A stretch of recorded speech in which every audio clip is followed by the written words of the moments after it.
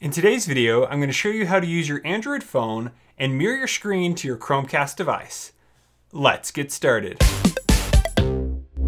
Hey everybody, welcome to Tech with Brett, where I help tech work for you. And today I'm going to show you how to mirror your Android phone to your Chromecast device. I use this all the time, so I wanted to show you how to do it. The first thing that you need to do is make sure that your phone has Android 4.4.2 or above. In today's video, I have a phone that is using Android 8.0. Now, most of the phones do have that today, um, so if yours is too old, you may need to upgrade.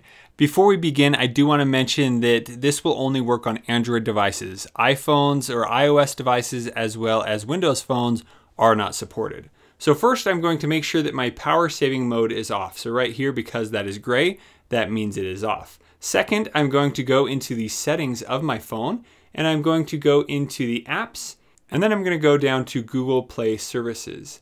Now under here, under the permissions, I'm going to make sure that my microphone is enabled. So if that is gray, make sure you turn that on. Then you need to make sure that your Chromecast and your phone are on the same Wi-Fi network. Now we are ready to go into the Google Home application.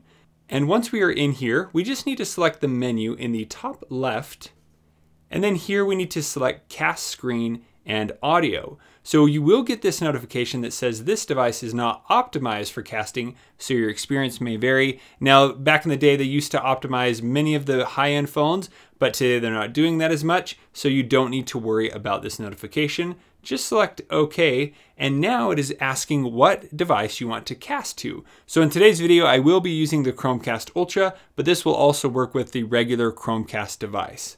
So here I'm going to select Chromecast Ultra and now my screen is being mirrored onto the Chromecast device. And there you can see that whatever I'm doing on my phone, it is showing up over on the TV. So if I rotate my phone or go into a certain application, it will show up on there as well.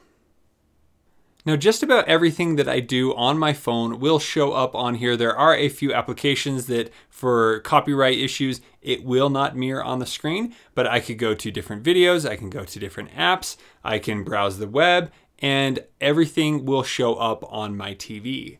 Now, if you do want to play games, it will work on the TV, but there may be a little bit of lag, so just be wary of that. It's because it is using your Wi-Fi to be able to cast this over, so it's not a dedicated connection. That's why there might be a little bit lag. But the screen quality looks really good. Every application pops right up, just like on my phone, and you can see that you have the full video experience right here on the device. So here I can even use Google Maps and whatever application I want. If I select menu, I have the recent applications and I can even do the two applications at once if I would like to. That's how much shows up on your screen. Now, when you are finished mirroring your Android phone to your Chromecast, there are two ways which you can stop casting.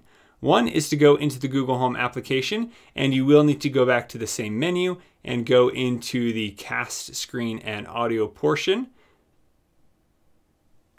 And then here you would want to select disconnect. Now the other option is to just pull down the notification tray and then here you can see casting screen. Now if you do pull that down again, you do have the disconnect option right here. Once you select that, it will then stop casting to your Chromecast. And when you are done casting, you'll see that the Chromecast turns back to its ambient mode. To adjust these settings, you can also go into the Devices tab, go to the Chromecast that you are casting to, and here I could change the volume as well. And then here I have a stop mirroring option. Now it will only continue casting while you are on the same Wi-Fi network. If you were to leave, it will no longer cast. When you are casting and watching a video, you can use the volume buttons on your Android phone to change the volume. So here I can change it up as well as I can change it down. Now I have used this feature in many different ways, sharing videos and pictures right to the TV without having to do some complicated setup or plug in my computer. It's great to, that it can be done all with on the Android device. And I have Chromecast on pretty much all my TVs.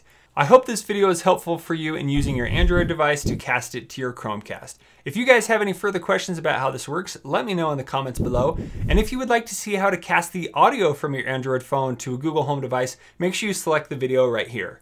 Thank you guys so much for watching. We'll see you on the next one.